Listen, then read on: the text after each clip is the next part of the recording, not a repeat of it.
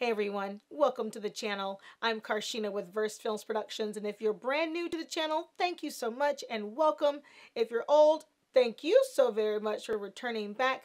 We've got some new horror picks for you this week, so let's go ahead and get started.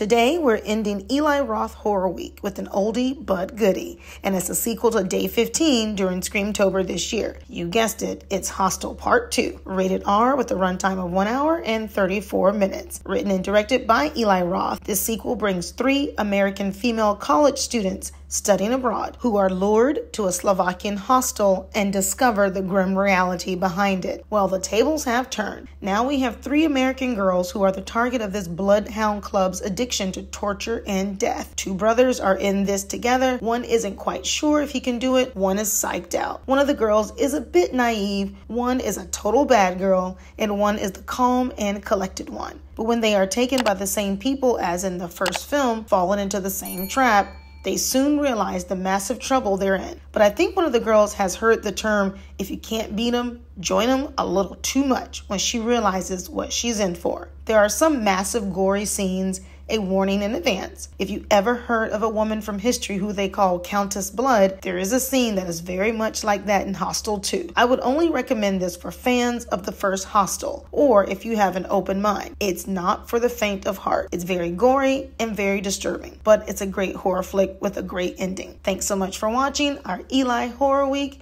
during Screamtober right here on the channel. See you next time.